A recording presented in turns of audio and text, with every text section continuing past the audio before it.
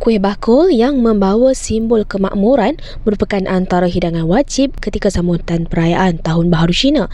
Namun rasanya yang agak manis menyebabkan tidak semua gemarkan kuih tradisional itu.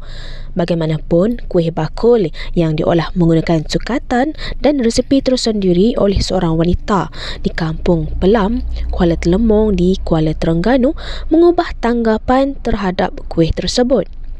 Rasanya yang tidak begitu manis serta boleh diolah semula dalam pelbagai menu masakan lain seperti digoreng bersama ubi keledek memberikan pelbagai variasi namun dalam masa yang sama masih mengekalkan keaslian rasa kuih tersebut.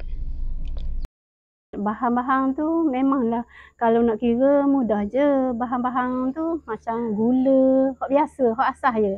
Gula, tepung pulut, air, saya letak selagi uh, lemon. Lemon tu dia rasa lain sikit daripada uh, apa tu? Apa panggil ni kuih kita ni.